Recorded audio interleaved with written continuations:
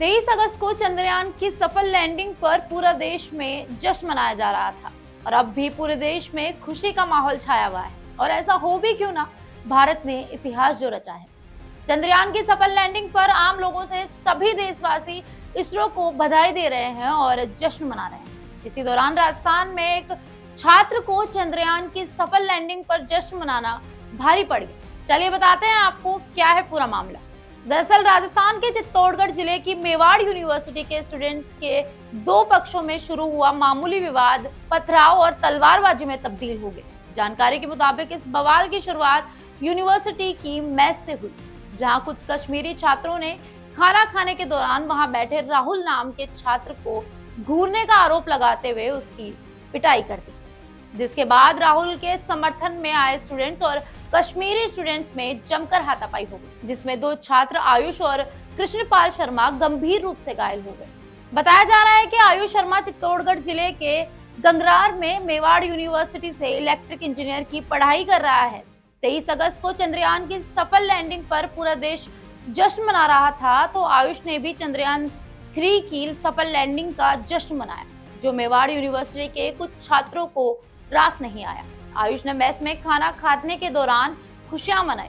भारत माता की जय, वंदे मातरम के नारे लगाए। बस यहीं से बात बिगड़ गई। इसी दौरान वहाँ मौजूद 10 से 12 कश्मीरी छात्रों ने जश्न मना रहे और नारे लगा रहे। छात्रों पर नाराज़गी ज़ाहिर करते हुए उन पर धार धार हथियारों से हमला बोल दिया। जिनमें दो छात्र आयुष और कृष्णपाल शर्मा गंभीर रूप से घायल हो गए और उन्हें अस्पताल में भर्ती कराना पड़ा। घटना की सूचना मिलने पर हिंदू संगठनों के पद अधिकारी जिला अस्पताल पहुँचे, जहाँ आरोपी स्टूडेंट के खिलाफ प्रभावी कार्रवाई नहीं किए जाने पर नाराज़गी ज़ाहिर आयुष के हाथ की नस कट गई और वो गंभीर रूप से घायल हो गया, इसलिए उसे उदयपुर रेफर करना पड़ा। आपको बता दें कि इस पूरे मामले में पुलिस ने 36 आरोपियों को शांति भंग में गिरफ़्तार कर लिया है।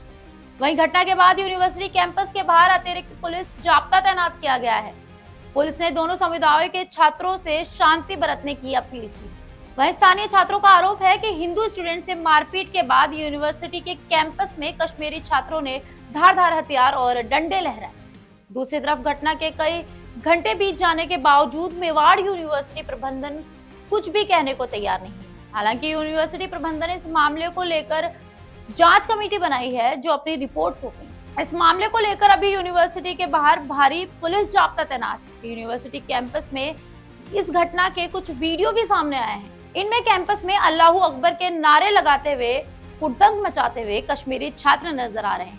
फ़िलहाल यहाँ स्थिति तनावपूर्ण है, लेकिन नियंत्रण में है। स्थानीय छात्रों की बात करें तो आसपास के जिलों में रहने वाले छात्रों ने यह आरोप लगाया कि मेवाड़ यूनिवर्सिटी में अक्सर ऐसे सामुदायिक तनाव और सांप्रदायिक सौहार्द खराब करने के मामले सामने आते रहते हैं। उनका कहना है कि यहाँ अक्सर कश्मीरी छात्र उकसावे भरी कार्रवाई करते हैं, जिससे सांप्रदायिक माहौल खराब होने की संभावनाएँ ज़्यादा बढ़ती है। फ़िलहाल के लिए इतना ही। धन्यवाद।